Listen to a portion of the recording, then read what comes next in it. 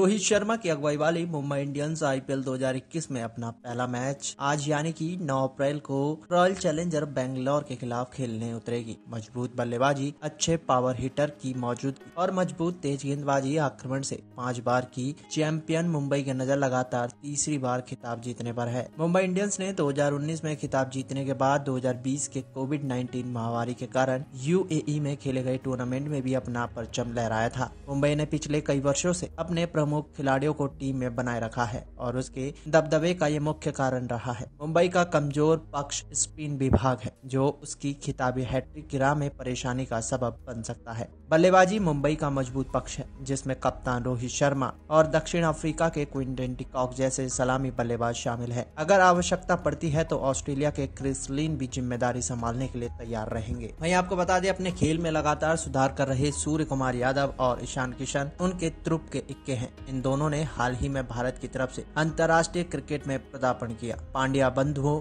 Allrounder हार्दिक और कुणाल तथा West Indies के कायरन पोलार्ड की मौजूदगी से उसका मध्य क्रम बेहद मज़बूत दिखता है। वहीं गेंदबाजी विभाग में उसके पास भारत के सर्वश्रेष्ठ तेज गेंदबाज जसप्रीत बुमराह है। पिछले सत्र में न्यूजीलैंड के ट्रेंट बोल्ड ने पावर प्ले में विकेट लेने की अपनी क्षमता साबित की थी। ऑस्ट्रेलिया के नाथन कुल्टन नाइल भी उनके पास है, जिससे मुंबई का तेज गेंदबाजी आक्रमण खतरनाक नज़र आता है। मुंबई का कमज़ोर पक्ष, उसका स्पिन विभाग है, जो कि चेन्नई के चेपाक स्टेडियम की पिच पर बेहद कारगर साबित होगा। मुंबई के पास विकेट हासिल करने वाला स्पिनर नहीं है, और ये कमज़ोरी उसे भारी पड़ सकती है। बाएँ हाथ का स्पिनर कुणाल पांड्या रनों पर अंकुश लगा सकते हैं, लेकिन वो विकेट हासिल करने में माहिर नहीं है। ऐसे में स्पिन विभाग का जिम्मा युवा राहुल चहर के कंधों पर आ सकता है, जिन्हें आईपीएल की देन माना जाता है। ऑफ़ स्पिनर जयंत यादव ने पिछले सत्र में केवल दो मैच खेले थे, और देखना है इस बार उन्हें कितने मैच में मौका मिलता है। मुंबई ने अनुभवी पीयूष चावला को टीम से जोड़ा है, लेकिन चहर और कुणाल की मौजूदगी में उन्हें अधिकतर मैचों में बाहर रहना पड़ सकता है। चावला ने आईपीएल में एक सौ छप्पन विकेट लिए हैं और वो इस टूर्नामेंट में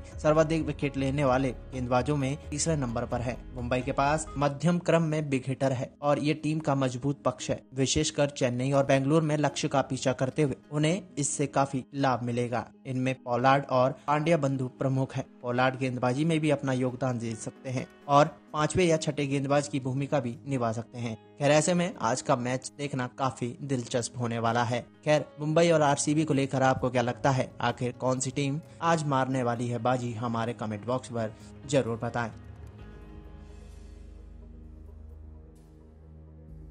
एल डी न्यूज़ रूम की रिपोर्ट।